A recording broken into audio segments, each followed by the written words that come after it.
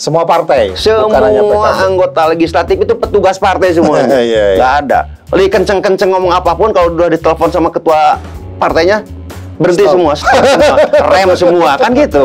Kalau orang selatan kan nyablak gitu kan, ngomong saya. Nah, Nah itu Pak Muhajir, itu pas dengan karakter saya.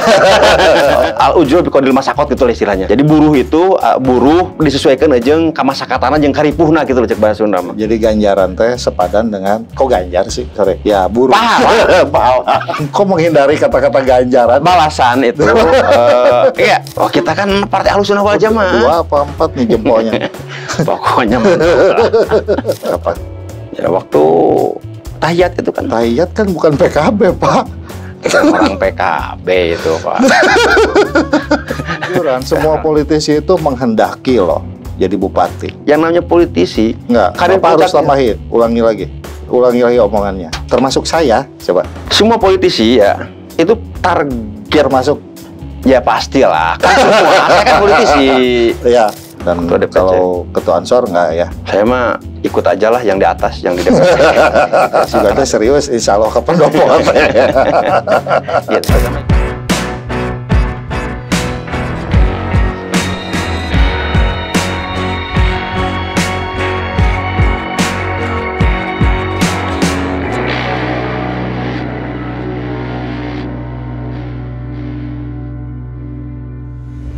Assalamualaikum Baraya Priangan hari ini kita akan mendiskusikan hal-hal yang sangat penting bersama Kang Asep Muslim tepuk tangan dulu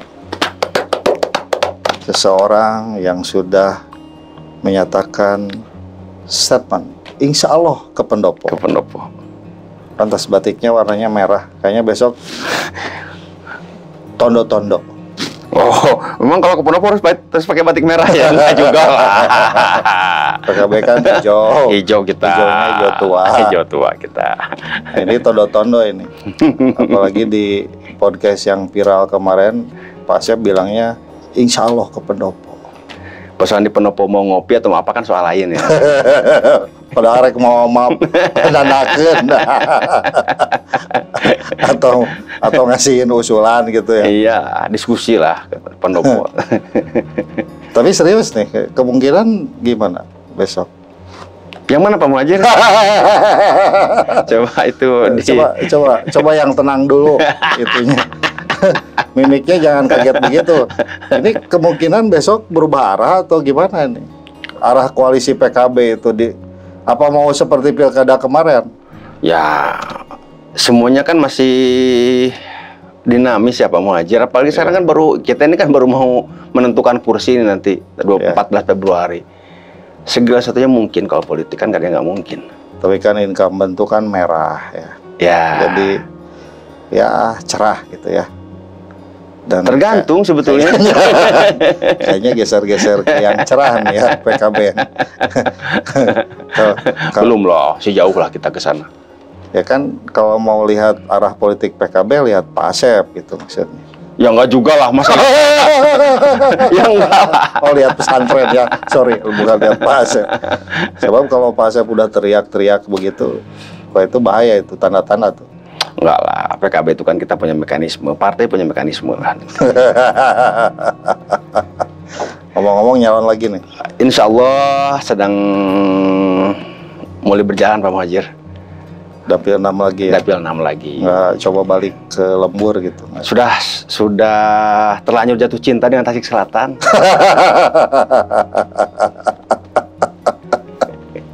Tepuk tangan. Jadi gimana sekarang hatinya udah hati orang Kido ya, bukan hati orang Selatan maksudnya gimana? Apa ya? Saya itu banyak menemukan merasa itu ketika masuk ke selatan itu ternyata nggak kalau buat saya secara pri- pribadi ya walaupun mungkin kalau secara te- teori eh, sosiologis kan pasti ada perbedaan ya Ya. utara itu kan eh, pedalaman istilahnya kan selatan kan lebih cenderung ke pesisir kan gitu kan biasanya kan Pegunungan. ah, pegunungan kan dan pesisir kan gitu Ya. Secara teoretik biasanya kan banyak perbedaan katanya kan. Tapi ketika saya ke sana, saya merasa cocok-cocok aja dengan uh, selatan itu, dengan Tasik Selatan itu. Jangan-jangan Pak Asep musim ini lebih cocok dengan orang selatan ya. daripada dengan orang utara. karena ini aja mungkin ya karena saya ini kan orang yang yang mudah beradaptasi lah gitu ya mudah beradaptasi dan banyak melihat hal-hal banyak menemukan hal baru juga sih sebetulnya di selatan ya. Suasana berbeda kultur yang berbeda pasti sedikit berbeda pasti dengan utara kan kalau orang selatan kan nyablak gitu kan ngomong saya nah genah geunah wayahna gitu nah kan. itu Pak Muhajir. Itu pas dengan karakter saya. Ya makanya saya bilang kayaknya selatan lebih cocok deh. Gitu pas dengan karakter saya saya dulu sejak zaman aktivis kan gitu kan ngomong ya apa adanya aja kan. Suka nggak suka orang suka atau nggak suka ya nggak urusan juga kadang. Saya ingin ngobrol ya ngobrol aja kan gitu. Kan orang selatan tuh nggak pagi tempe sore tahu kan nggak begitu kalau orang selatan tegak lurus ya? Tegak lurus. Tegak lurus. Ini lagi musim tegak lurus soalnya nih. kadang terlalu kencang tidak ada tidak, tidak gor juga gitu. Tegak lurus itu kan berapa tipis jaraknya dengan tegak kurus.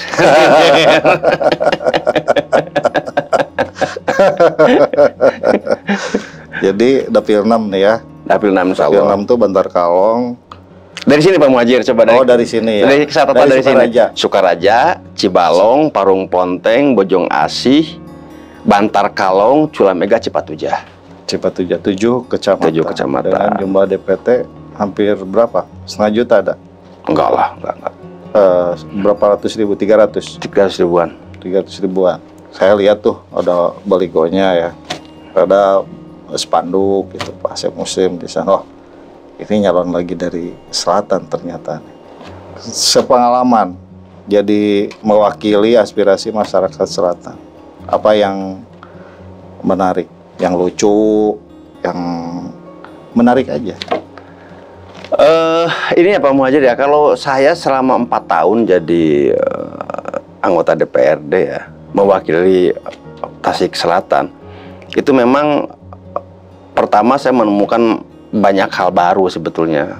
Banyak hal baru itu dari mulai cara komunikasi orang kan berbeda ya. Eh, mungkin mengobrol kan orang ke rumah kan tarik kan gitu. Sarojeng orang sebenarnya mah kan gitu ya. Ngobrol tarik apa adanya, lebih apa adanya. Kemudian eh, Ada cengkoknya, ada cengkoknya ada nadanya kalau ngomong nggak. dan dan ada satu hal juga loh yang sebetulnya saya kira di beberapa daerah yang yang kulturnya udah urban udah udah itu udah hilang jadi lamun lamun saya ulin ke ke konstituen lah gitu ya konstitu apa eh, ber apa namanya saya tuh konstituen mulang terus sok dibingki sok sok di iya sok sok nanti sok di bahanan gitu naon deh nak nak kardus naon deh bawa opak bawa ranginang gitu bawa cau gitunya Hmm. pasti itu jadi karakter guyubnya itu sangat masih sangat Tinggi. sangat hmm, sangat kental sementara saya nggak usah nyebutkan namanya di beberapa tempat di Tasik udah nggak seperti itu. Ya, yang kota-kota ya, Mm-mm, udah nggak seperti itu. Kalau di selatan masih seperti itu. Masih kena bah nggak bahanan gitu. nggak ya. bahanan pulang kan gitu. Namun kita menghadiri misalnya acara muludan atau rajaban ya itu pulang itu pasti di bahanan. Kadang-kadang saya kadang-kadang mikir gede kene pamulang dina kardus daripada amplop di urang pan gitu kan jadi gitu kan seperti itulah. Kadang-kadang kita ikut nyumbang apa gitu ya. Tapi ya itu mungkin budaya budaya budaya baik dari dari eh, Jadi selatan. kalau kalau bantu ada acara di sana bantu balik mau tingkem. balik mau tingkem balik di, di kardusan ya nama kardus pak. Kardus. Oh, ente ku tingkem ya. itu anu kardus ya nama. Kardus. Aya opak opak nu baradag teuing opak ranginang teu cau teu gitu Saga rupaya Iya. dan itu angkanya lebih besar daripada yang Kan- disumbang. kadang-kadang saya mikir minimal imbang jadi nggak enak juga kan gitu ya kadangnya Jadi papo gitu ya. jadi papo tapi saya kira kita sering menikmati lah sering menikmati itu ya itu bentuk-bentuk apa ya itu kultur kita juga sebetulnya kan Dan orang selatan itu kan sangat terbuka. Ya kan? Kan Bapak orang selatan Pak ya. Orang selatan itu sangat terbuka menerima orang dari luar. Sangat terbuka sekali. Dan saya melihat gini Pak Muhajir, selatan itu ya, saya melihat banyak hal gitu ya. Banyak hal yang sebetulnya kalau digali potensinya luar biasa loh. Luar Ya. biasa. Dari mulai potensi pariwisata ya. Saya nyata itu potensi kelautan, kemudian potensi hu- hutan ya. Potensi hutan gitu. Ini luar biasa kalau kalau digali makanya eh, ketika misalnya Tasik Selatan eh, kita perjuangkan hari ini untuk untuk apa? Untuk Mekar ya. untuk pemekaran kalau saya lihat udah siap. Kita di selatan sudah sangat siap gitu untuk untuk mekar. Apalagi kalau ngomongin sumber daya manusia, orang selatan tuh kan banyak yang di kota besar. Kayak kota besar. Dan mereka survive, sukses. Meskipun pendidikannya nggak tinggi-tinggi tapi sukses-sukses mereka. jadi saya lihat ini ini kalau misalnya eh, besok banyak yang terpendam lah besok kita mekar itu sebetulnya potensinya jauh lebih bisa digali sebetulnya walaupun kadang saya mikir gini kalau selatan jadi mekar terus Kabu- kabupaten Induk apa kabar kan gitu malah saya mikir gitu kalau jadi jadi mekar nih selatan terus kabupaten Induk apa kabar gitu apa kabar itu ya soal PAD kan Kekayaannya emang banyak di sana ya. Iyalah. potensi. Kau- apa sorry kabupaten Tasik apa Tasik Selatan itu kita punya punya 56 km laut loh. Dan itu pasti akan hilang. Dan itu kalau menurut eh, hari ini kan ada perpres tentang pembangunan eh, Jawa Barat Selatan ya itu kan udah masuk di rentang itu. Jadi selatan itu udah siap lari ya. sudah siap sudah siap. Kita tinggal menunggu eh, political will dari pusat sebetulnya ya saya itu. Kita siap kok. Potensinya banyak potensinya. Luar biasa lah potensi selatan itu. Berarti kalau jadi mekar itu anggota dewannya PKB ada ke satu kursi lagi nanti ya. Kan dia bentuk DPRD tuh. ya. Ya kan ada ada kursinya aman gitu. Aman aman. Aman. Bukan amin. Ya nanti kan kita amin kan. Oke apa isu yang krusial di selatan itu? Ya selama berarti udah lima tahun kan hampir lima Mm-mm. tahun sekarang di selatan. Tetap sih Pak Muhajir kalau buat saya eh, modal dasar mah apa namanya infrastruktur. Ya. Kita pernah diskusi dulu kan soal konek- konektivitas kan. Itu itu dulu deh. Artinya bagaimana eh, bupati gitu ya bisa menurunkan anggaran untuk Tasik Selatan. Itu untuk eh, apa eh, terkoneksi secara secara bagus gitu ya antar antar satu kecamatan dengan kecamatan yang lain ini. Karena potensi ekonominya dari mulai pertanian ya hmm, pariwisata juga hasil hutan. Hasil hutan. Itu kalau nggak disambungkan dengan dengan infrastruktur yang bagus berat. Berat. Kayak misalnya kita ada beberapa curug di daerah Culamega ya di daerah Cipatujah gitu ya. Itu potensi wisata yang luar biasa tapi kemudian menjadi menjadi eh, terganjal itu karena akses. akses gitu loh. Aksesibilitas itu ya. makanya kan kalau saya sih eh, awalnya itu dari itu dulu. Infrastruktur dulu udah katanya kan pemerintah hari ini udah mulai mengkonsentrasikan ke selatan nyiapin rumah sakit dua ya Cikatoma sama atau sama iya Progresnya sih masih belum, saya masih belum dengar progres yang eh, ada kemajuannya. Masih baru pembebasan lahan kalau nggak salah juga masih dalam proses deh itu. kalau rumah sakit Cikatoma kayaknya udah mulai jalan Udah mulai jalan ya. Iya. Kalau di selatan baru proses pembebasan lahan ya pembebasan lahan kayaknya. Artinya di selatan ini kan dengan potensi yang luar biasa ini sebetulnya bisa bisa tergali gitu ya kalau infrastrukturnya kita memadai.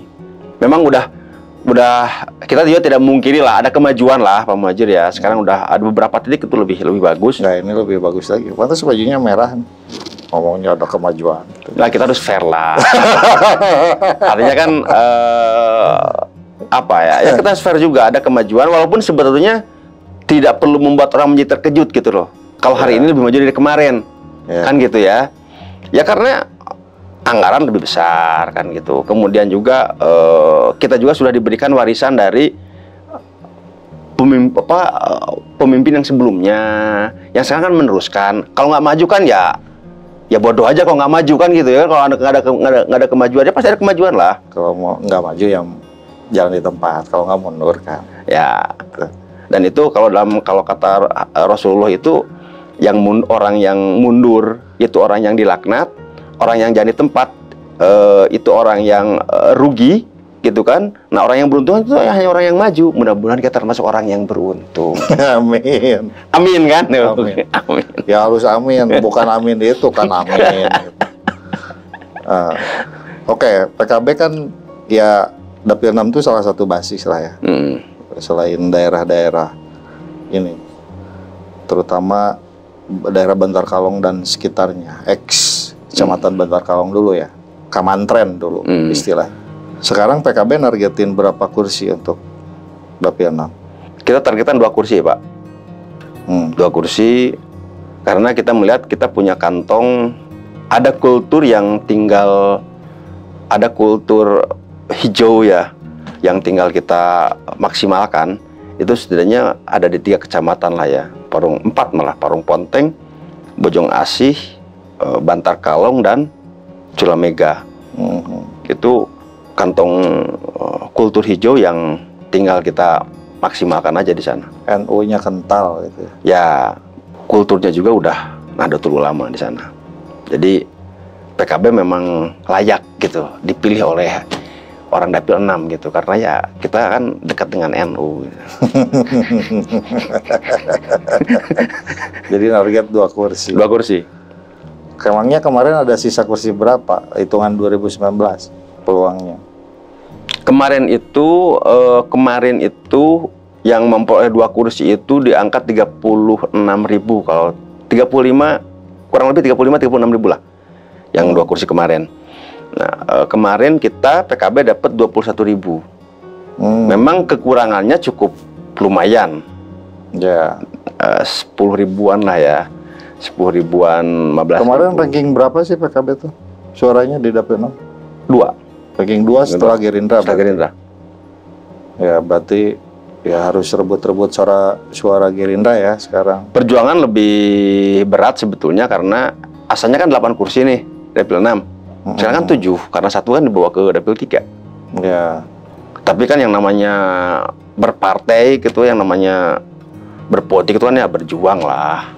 Berarti pembaginya lebih besar ya. Lebih besar. Berarti suaranya harus lebih Walaupun walaupun kita optimis dapat tetap dapat dua kursi, kenapa? Karena eh, kursi kedua partai yang dapat dua kursi kemarin itu di kursi ketujuh loh. Hmm, ya. Ter- yang terakhir tuh apa tuh? Pan. Pan ya. Hmm. Kursi kedua itu Hmm. di, di urutan ketujuh. Makanya makanya sangat sangat realistis kalau kita hari ini eh, optimis untuk dapat dua kursi dapil 6. Nah, ini kan Pak Asep Jul nih hati-hati nih. Kursi pan. kursi pan di kursi ketujuh PKB mau nambah suara katanya. ya kan kalau ngitung data statistik kemarin kan logikanya seperti itu. Hmm, Logikanya hmm, hmm. berarti kursi terakhir Ya. mana gitu kan. Berarti optimis ya. ya Optimis minimal dong. untuk pribadi target berapa ribu sih sekarang? Target mah tetap jadi lah. nggak akan ada target ambisius mungkin. Saya kira realistis ya kalau saya kalau cukup realistis itu saya tuh kalau misalnya dua kali lipat dari kemarin. Kalau kemarin berarti Lima, berapa? sekarang kemarin itu 5.300 sekian lah Oh. gitu. Sekarang kalau sekarang saya target 12 13 ribu saya kira realistis lah Wah itu nggak gandong sakorsi pak. gitu. Itu kan gandong sakorsi. Iya. Bapak jadi pimpinan DPR ya dong. Itu kan soal keputusan DPP kalau Bukannya di sana ada kesepakatan di PKB itu kan. enggak lah, Yang kursi tertinggi itu jadi pimpinan. enggak. Cuma memang Ya sebagai bentuk eh, penghargaan. ya, cuma memang ketua umum eh, saya sebut ya, ketua umum saya Gus Muhaimin Iskandar itu pernah Cawapres ya. cawapres sekarang itu pernah memang melontarkan eh, bahwa silahkan semua eh, caleg berjuang dan dipastikan partai akan memberikan penghargaan untuk orang-orang yang memang eh, apa ya tentu eh, al ujur bikodil masakot gitu lah istilahnya jadi buruh itu eh, buruh eta disesuaikan aja kamasakatana jeung karipuhna gitu loh cek bahasa Sunda mah. Jadi ganjaran teh sepadan dengan kok ganjar sih sorry. Ya buruh. Pahala. pahala. Pahala itu disesuaikan dengan Kalau pahala hidup pak. ganjaran lah kalau ini. balasan lah Oh, gitu.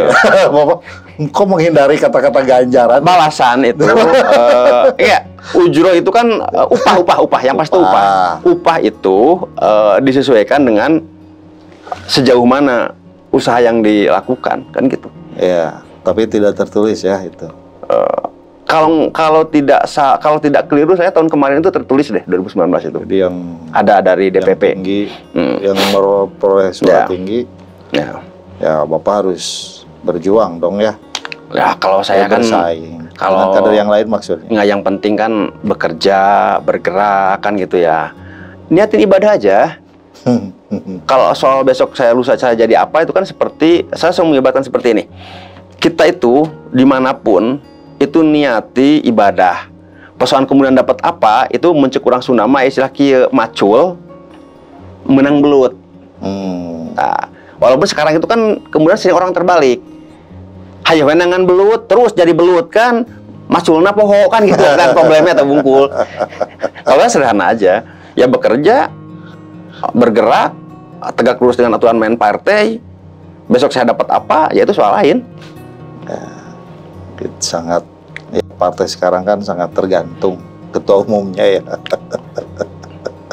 Karena saya kira semua partai ya. Saya kira semua partai lah. Semua partai hari Iya. ini kita memang harus tegak lurus dengan dengan ketua umum, Tegak lurus dengan ketua umum. dengan ketua umum. Ya memang harus begitu sebagai kader ya. Dan as, dan Ahlussunnah wal Jamaah mengajarkan seperti itu, Pak. Ya. PKB ini kan partai eh, pejuang Ahlussunnah wal Jamaah. Itu mengajarkan seperti itu. Samina wa atona kepada pimpinan. Tidak ada aswaja itu mengajarkan pemberontakan. Nggak boleh makar ya. Nggak boleh makar. Nggak boleh. Jadi dalam situasi apa pun harus tegak lurus. Tegak lurus. Begitu. Luar biasa. Oh, kita kan partai Ahlussunnah wal Jamaah. Dua apa empat nih jempolnya. Pokoknya mantap. Oke. Nah, si pemilu ini kan target-targetan yang Hmm. tadi diceritakan ini kan sangat terkait erat dengan Pilpres, Pak. Ya kan? Hmm. Dan Bapak sekarang mengusung eh, calon presiden sendiri. Ya. Partai Bapak itu ketumnya menjadi wakil presidennya Anies Baswedan. Anies Imin. Disingkat jadi Amin. Gitu ya. Oke. Selain untuk mencari suara PKB juga kan harus memperjuangkan kemenangan. Pasti PKB itu. menargetkan kemenangan di dapil 6 itu berapa persen untuk Amin ini, pasangan Amin ini. Saya optimis loh lihat kultur ya. Lihat kultur eh, selatan, dapil 6 khususnya dapil 6. Saya kok optimis kita bisa dapat sampai 75 persen, Pak. Wah, yang berat dulu dong. Aku nggak tahu cara ngitungnya gimana. Ya, karena 75 persen. karena gini, kan dapil 6 toh? Iya. Dapil 6 kan? Iya. Oke. Jadi gini, karena saya ngeliat gini, ada eh, ini saya bicara politik bicara politik nasional, maksudnya gini analisis analisis para para pengamat politik ya. Ketika ada pergeseran misalnya dari eh, pemilih eh, Prabowo ke Anies, kan gitu kan? Ya. Kemudian eh, bagaimana eh, Ganjar gitu ya. Itu jangan itu untuk saya melihat Ganjar itu seperti kasus Jokowi dulu. Maksudnya apa? Susah Pak di Bisa dijual. susah untuk masuk di Tasik. Ah, analisanya kenapa? Amin lebih mudah. Amin lebih mudah karena memang tadi itu kulturnya kulturnya sudah udah siap ya. Kulturnya udah siap dan dan dan eh, apa namanya eh, bacaan saya itu Maksud- ada ada dua ada dua kan ini kan PKS sama PKB kan yang ngusung kan Oh ya. ya kan Jadi oh ya karakter Tasik ini yang ideologi Islamnya ke kanan-kananan gitu ya. itu kemudian kita bisa ketemu Dan yang tengah-tengah ini bersatu. itu ketemu Islamnya nggak lepas gitu. itu ketemu Maksudnya itu yang disebut Ya. kultur. tuh. Ya, makanya kan saya saya optimis. Tapi saya nggak tahu Tasik ya, karena itu kan bagian DPC ya. Tapi saya pribadi untuk dapil 6 optimis, Menang. menang. Dapil enam. Dapil 6 menang. Dengan pemetaan tadi yang saya bilang tadi tuh ya, dengan asumsi tiga kecamatan aja. Eh, Bantar Kalong, Bantar Kalong, Culamega. Culamega, Bajong Asih, dan Parung Ponteng empat kecamatan aja dengan kultur hijaunya yang kuat itu dominan. Bukannya itu, kan a- Amin kemarin basis-basis Prabowo semua. menurut pengamat politik di mana di Jakarta Sidoto Muntaha apa? di Jakarta itu katanya saya kan bukan pengamat politik ya katanya analisisnya itu sekarang itu ada pergeseran Ada migrasi. ada migrasi dari pemilih dari yang militan Prabowo ke Anies Ya, besar-besaran itu ya. Ya, bahkan itu terjadi eh, lepasnya itu katanya gitu kata para pengamat politik itu lepasnya itu bahkan terjadi sejak Prabowo menjadi Menhan. Hmm. Ini lepas, ada banyak yang lepas dan larinya ke Amin. Ya karena kecewa Prabowo berkoalisi dengan Ya. Jokowi, mereka jadi tidak percaya. Ya. Sehingga ketika muncul sosok baru, trust mereka sangat tinggi. Gitu karena cukup mewakili semangat mereka.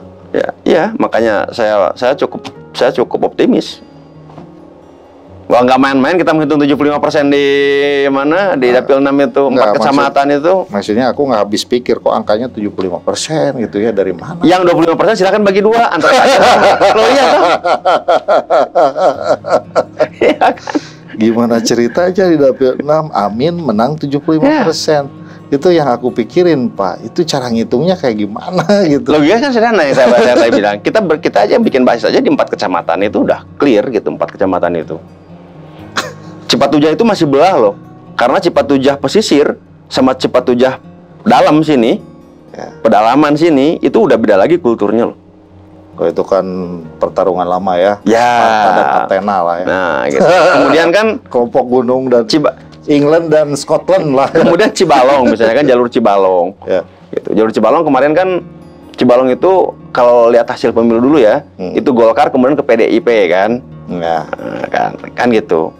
Eh, Sukaraja relatif heterogen lah gitu ya, Sukaraja. Ya itu udah ke kota-kotaan. Hmm, tapi untuk untuk Parung Ponteng, Bojong Asih, Bantar Kalong dan Culamega itu hijau di sana, Pak. Tempatnya itu. Jadi hijau ini yakin ke Amin ya. Yakin. Walaupun P3 sekarang kan Ya. ya, dukung Gajar Mahfud. Ya karena kan tidak dari dulu kan tidak selalu berbanding lurus kan. Kalau urusan Iya. pil-pilan yang pilpres, pilkada itu kan tidak selalu berbanding lurus dengan Partai dengan partai politik. partainya bisa ke mana, pilihannya bisa, Bisa ke mana.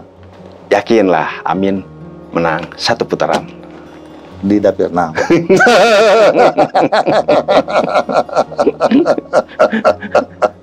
Iya di dapil 6 satu putaran.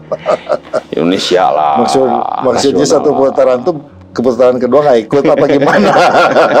Menang kita satu putaran, Insya Allah.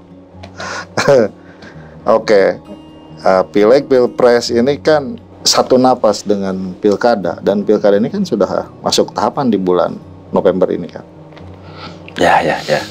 Nah, yang aku ingin tanyakan gitu, gimana agenda PKB ke depan menghadapi pilkada Kabupaten Tasikmalaya 2024?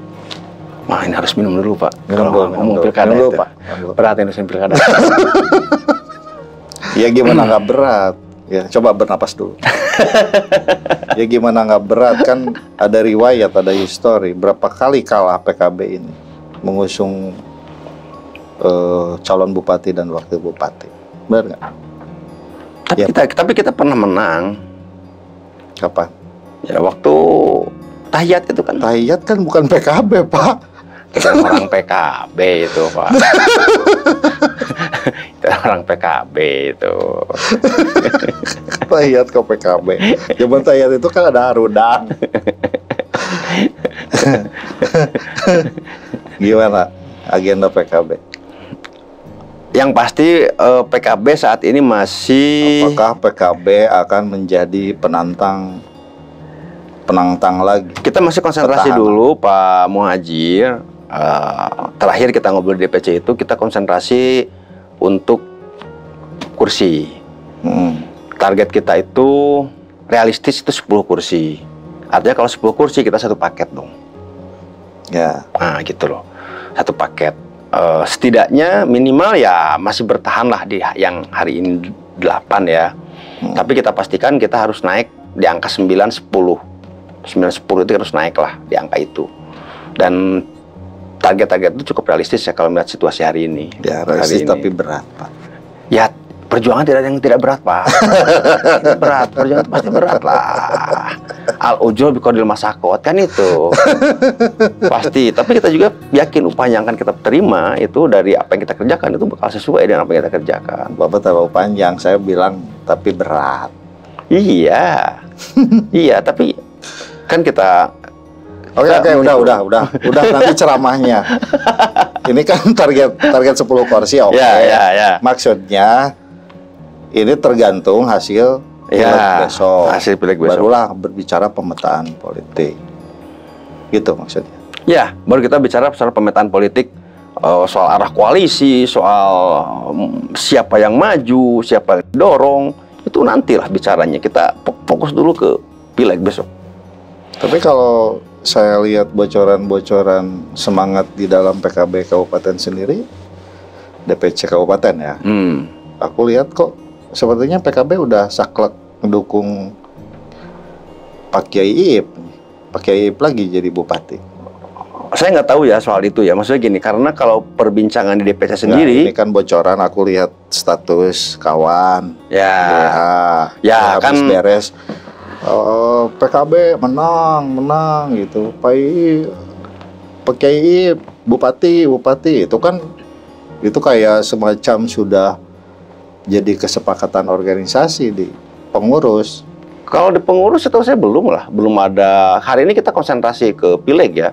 Kalau untuk pilkada, kita belum memutuskan siapa pun untuk maju karena kita juga belum jelas juga kan, belum jelas juga kita dapat kursi berapa nih kan gitu ya. Hmm. Uh, dan kita masih, saya kira PKB itu kita punya banyak potensi Pak Muhajir. Hmm. Kita punya kita punya banyak kader yang yang yang berpotensi Ya, untuk maju. Ya karena terlalu banyaknya itu kan jadi repot gitu ya. Enggak, malah kita nyuliknya Pak. Daripada daripada nyulik kader lain kan, kan gitu kan nyulik ke partai lain kan kita banyak. Ya kan persaingan antar kadernya kuat Nah, dan kalau soal persaingan kan biasa. Kita kalau partai sebesar PKB kan pasti ada persaingan lah kan, itu biasa. ya, iya kan? Partai-partai kecil nggak yang kecil-kecil nggak bak kesaingannya bersaing kecil. boleh. Yang penting tegak lurus sama ketum. itu pada akhirnya kan kesalahan Om Haji. Karena gini, pada akhirnya pada akhirnya kita kita harus eh, ikut tunduk kepada eh, SK DPP nanti kan. Iya. Ya soal dinamika serame apa pun, sekencang apa pun, gitu pada akhirnya kita semua harus tunduk kepada perintah dari DPP. Udah, karena kan SK-nya kan nanti SK DPP yang keluarnya, Iya. gitu. Nah, tadi bilang kan banyak banyak nih stok kadernya. PKB nih. calon bupati maupun wakil bupati. Pengen ini ada, pengen Ya. ini ada. Siapa aja tuh? Ya kita hitung aja Pak Muhajir. Artinya gini, kader kalau buat saya eh, kader yang sudah teru yang relatif ter- relatif teruji lah gitu ya, teruji dalam berkompetisi dan eh, dalam proses elektoral gitu ya. Itu kan yang anggota dewan yang legislatif sekarang, anggota dewan sekarang kan. Mm-mm. Kita hitung aja, kita hitung aja di apa? Kabupaten kita ada 8 orang. Provinsi satu orang, Mm. pusat satu orang. Kita punya 10 Stok kader. kita punya 10 stok kader loh. Nggak main-main itu. Ya. Artinya artinya gini, yang 10 orang ini suka atau tidak suka, Sebelah sama Pak Kiai suka atau tidak suka, Kemarin kan nyalon ya pengalaman. nggak sa- eh, kita bicara di internal yang legislatif dulu ya. Oh, ya. Legislatif, legislatif dulu ya. Di legislatif aja. Karena kenapa saya ngobrolnya legislatif? Karena suka atau tidak suka eh kader yang terpilih di kursi legislatif itu mereka sudah membuktikan kompetensinya gitu loh. Ya, bertarung. lah ya. Bertarung. Dan ikut dan effortnya ada untuk membesarkan Nah partai. itu ki- kita ada kita ada 10 kader kan. Kemudian stas, nah baru kita boleh bicara struktural. Secara struktural kita ada pakai Acep Adang. Kakak, bentar. 10 kader itu kan siapa aja nih? Ada Pak Ketum, Ketum DPC ya. Nggak dari atas dong. Oh dari oh dari, Dari DPR, DPR RI dulu. Oke. Pakai Siapa? Acep Adang. Anggota DPR RI, DPR RI, Pak Oleh Oke. Soleh, anggota Wakil Ketua DPRD Provinsi, Provinsi Jawa Barat. Ada Pak Mi Pahmi, Wakil Ketua DPRD Wakil Ketua. DPRD Kabupaten kan. Kemudian eh, ada Pak Asep Muslim Oh iya. dari Dapil 6, ada Ibu Sri Susilawati dari Dapil 5, ada Pak Haji Kukum dari Dapil 4, ada Pak Acep dari Dapil 3, ya kan? Tadi Pak Ketua ya. Acep Saperak. Nah, Pak Acep Saperak, tadi Pak Ami ya dari Ketua dari Dapil 2. Dari Dapil 1 kita ada dua orang. Ada Pak Jejeng dan Pak Hakim. Nah ini kader layak jual semua. Layak jual semua. Layak jual semua. Karena kalau buat saya Pak Muhajir ya, sekenceng-kencengnya orang bicara apa pun ya, kalau dia belum diuji Melalui proses pemilihan. proses pemilihan itu kita masih nggak bisa berat gitu loh itu seperti itu kita harus uji. Ya. Nah secara struktural kita punya pakai Acep Adang, beliau ketua eh, Dewan Syuro eh, Provinsi Jawa Barat. Kemudian Kang Haji Ip ketua Dewan Syuro apa namanya kabupaten PKB kabupaten. Kemudian ada Pak Ami ketua Dewan Tanpid. Secara, secara struktural mereka semuanya layak maju. Kalau Pak Asep Muslim, layak Ah. maju apa enggak? Sebagai Loh kalau soal layak mantan ketua GP Ansor, kalau so- yang anak buahnya banyak kayak partai gitu. sebenarnya kalau yang bisa menilai layak atau tidak itu sebenarnya kan bukan saya sendiri, pasti orang lain lah kan. ya, orang lain. Kalau orang lain menilai saya layak, kemudian kita ini kan petugas partai, Pak. Jangan jangan jangan jangan suka apa namanya kemudian menyebut bahwa ini kayak PDIP nih. nggak bukan kayak PDP, Petugas- PDIP. Eh memang semuanya juga petugas partai Petugas ya. partai Kenapa loh. mesti Anggota alergi Eh, dengan eh, kenapa kita mesti alergi dengan istilah petugas partai? Yang namanya anggota dewan, Pak, sekarang itu itu petugas partai semua. Ditugas ditugaskan oleh partai politik untuk Nah, di DPRD gitu loh. ini pemirsa ya. Jadi PKB juga sebenarnya sama petugas partai. Semua Eh, semua partai, Semua bukan hanya PKB. anggota legislatif itu petugas partai semuanya. Iya, iya. Nggak ada. Lagi kenceng-kenceng ngomong apa pun kalau udah ditelepon sama ketua partainya berhenti Stop. semua, stop semua, rem semua kan gitu. Artinya semua petugas partai karena apa? Karena partai punya kebijakan. Partai punya aturan main, partai punya ideologi gitu kan gitu. Dan kita Iya. menjalankan itu, menjalankan cita-cita partai loh. Kita Iya. di legislatif, kita di mana pun itu anggota legislatif ya, dari partai mana pun, itu dia menjalankan sedang men- sedang menjalankan cita-cita partai partainya. Iya, iya. Jadi clear sebetulnya kita semua ya petugas partai. Masa kita mau enggak lah. Jadi, Fair aja. jadi gimana? Tadi sampai sudah sampai Bapak jadi terlalu bersemangat ngomongin petugas partai. Iya, makanya kan kalau saya sebagai petugas partai gitu Oh, ya. iya. eh, ya tergantung yang di atas lah. Kalau ternyata DPP menugaskan saya, masa masa saya menolak itu aja. Jadi kalau ditugasi oleh DPP harus siap. Ya harus siap Sebagai lah. kader. Sebagai kader harus siap. Harus siap. Tapi untuk hari ini saya lihat tiga orang lah di Tasik itu. Ada ketua Dewan Syuro Provinsi, ada ketua Dewan Syuro Kabupaten, ada ketua Ketua DPC. ketua DPC. Ya, Artinya eh, apa namanya? Itu internal ya. ya. Belum itu. Kalau misalnya ada kader juga menghendaki Pak kader eh, apa sorry eh, maaf. Kalau misalnya kader partai menghendaki yang maju dari kader eksternal, Hmm. saya yakin partai juga harus bijak akan bijak lah menyikapi itu Ya, ya, ya. gitu.